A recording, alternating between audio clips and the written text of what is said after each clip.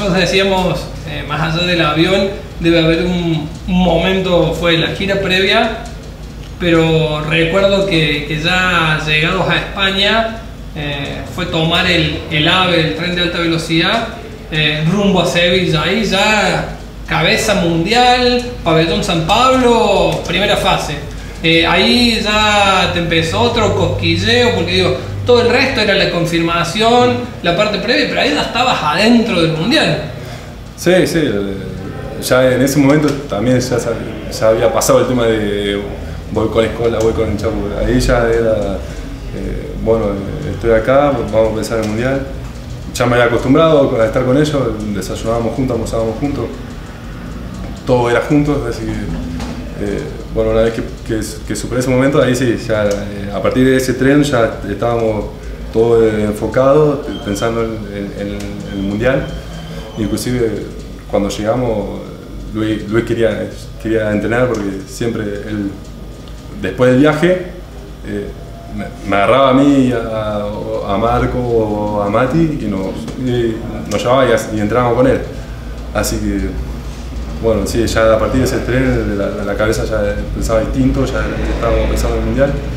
También ya me estaba poniendo nervioso porque decía, bueno, ahora se acerca algo que, que pensaba que estaba tan lejos, ahora ya lo, lo tenemos encima.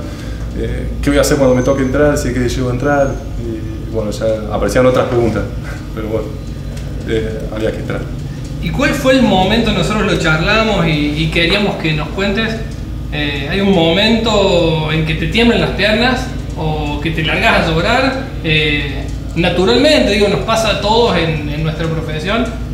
¿Cuál fue tu momento en el mundial en que dijiste, la puta, todo lo que hice en esta carrera valió la pena para estar acá y se te cayeron las lágrimas o te tembló la pera o las piernas?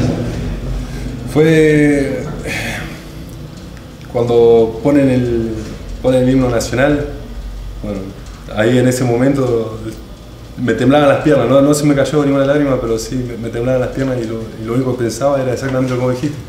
Eh, tanto esfuerzo, tantos días, eh, tanto tiempo lejos de tu casa. Eh, yo, me fui a, lo, a, los 17 años de, Santa Fe y no, no, podía volver constantemente. Y bueno, veía a mi familia dos semanas al año.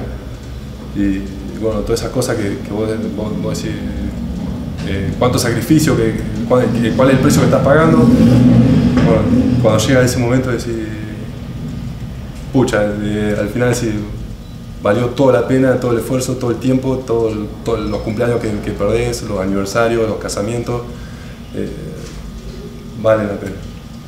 Y además, si te podés divertir, eh, no, mejor. mucho mejor. Digo, tenemos algún, algún par de anécdotas que nos han contado tus compañeros, por ejemplo, que tu ración de comida era plato doble y bien lleno este, sí. eh, cada vez que te sentabas a la mesa. Soy de buen comer, sí, soy de buen comer. Bueno, también tengo un problema que encima que como mucho, tardo mucho. Así que, bueno, estando ahí, eh, me pegaba una torada con la comida porque yo decía, me, me decían, que esperar, a mí me van a matar. Así que iba, me servía mucho y comía también. Eh, como demasiado lento. Así que sí, solamente comiendo un poquito más rápido, eh, ya llegaba, llegaba bien. ¿Y con quién compartías la, la habitación en España? Eh, en un principio fue con, con Facu, con Capazo, y después con Walter Germán. Y, y, ya al final quedé, quedé con él nomás, con, con Walter. Y, y, también hablábamos de todo, eh, él, él, también en Santa, Santa Fe, Bernardo Tuerto. Sí. Y, y, bueno, conocí a la familia de él, a la mujer, a los, a los, a los dos hijos, que, que, pienso de que a la hija la notó tarde, porque tiene, tiene tres años y es, es alta así, es gigante la, la nena. Eh, y bueno, también eh, compartimos muchos momentos y muchas cosas, hablando de, de todo con, con Walter.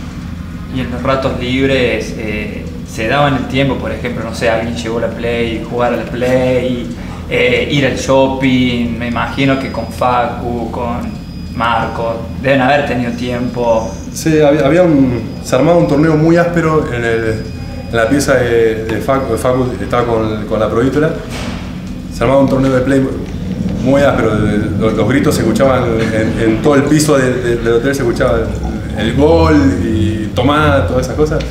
Se habían, puesto picantes. Y, bueno, si no era eso, tuvimos una tarde, me parece, o dos tardes para, para, para estar en la pileta, que también estuvimos todos y disfrutamos ahí un poco el día, tr- tratamos de relajarnos.